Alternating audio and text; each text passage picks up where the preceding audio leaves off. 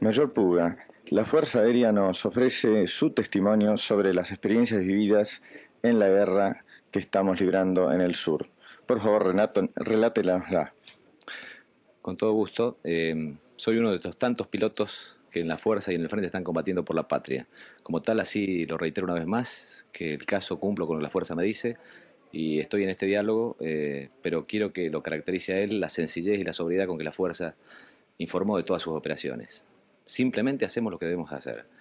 Mi relato eh, interviene en varias misiones sobre la, flota británica, eh, con éxito en, en casi todas ellas, llegando a bombardear fragatas y buques de desembarco, y luego, en una de esas misiones, fui derribado por aviones Harrier.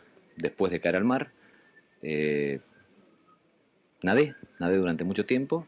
¿Aproximadamente?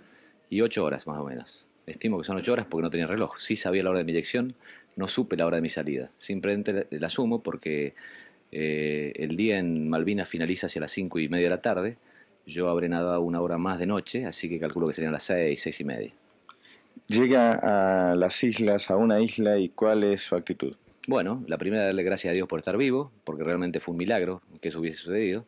Normalmente con nuestros equipos dicen los técnicos que no da para más de dos horas de supervivencia. Gracias a Dios esto demostró que da para mucho más. A partir de ahí era pasar la noche sin morir congelado. Por lo cual me decidí a caminar durante toda la noche, que era la única fuente de energía que tenía, energía propia. Y bueno, caminé durante toda la noche haciendo pequeños descansos y eso me mantuvo bien hasta el otro día en que fui eh, rescatado. Por una patrulla de nuestra Fuerza de Tierra. Eh, discúlpeme, señor, ¿cuál es el motor moral de estos pilotos que llaman la atención al mundo, estos pilotos que se forman en la Escuela de Aviación Militar?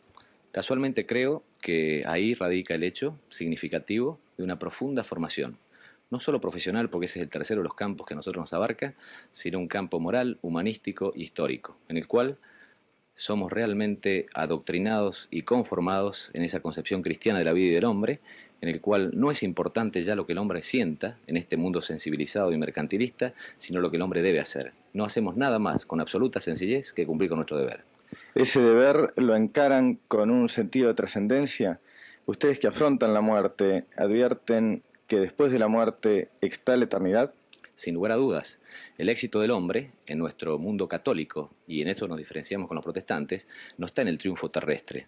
El triunfo terrestre es un camino hacia la otra vida y realmente si hemos sido consecuentes con nuestro deber, con nuestra vocación, con el llamado que Dios hizo de cada uno de nosotros, nos haremos acreedores a la vida eterna. La caballería del aire argentina, valga la forma esta de llamarla, ¿Es Mariana como la caballería histórica de, la Europa y de la España que nos antecede? Sin lugar a duda y nos sentimos honrosos que así nos identifique.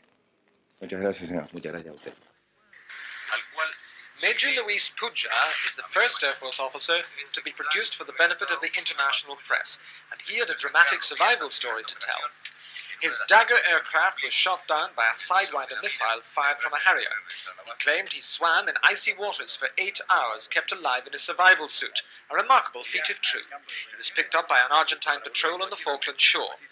Major Puja was prepared to pay professional compliments to his enemies, the British Harrier pilots. Son eh, pilotos que están cumpliendo con su deber. Eh, están haciendo todo lo que pueden en el teatro, tal lo que estamos haciendo nosotros. They are very good pilots, they are on duty, and that's their job, and they are doing their best just as they are doing their best too. Can the planes of the Argentine Air Force operate as effectively on the islands as the Harrier?